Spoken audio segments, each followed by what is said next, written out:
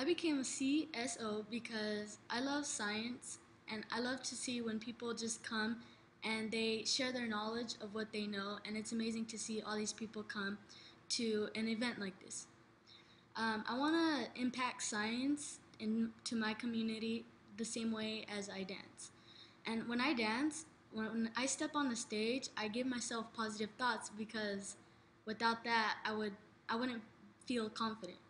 So after that, when I'm finished dancing, people come up to me and they ask, Alex, I'm not a good dancer, but I want to dance with you. And the way that makes me feel is that, you know, it makes me feel amazed that I just inspired these people to do the same thing that I do and I'm passionate about it.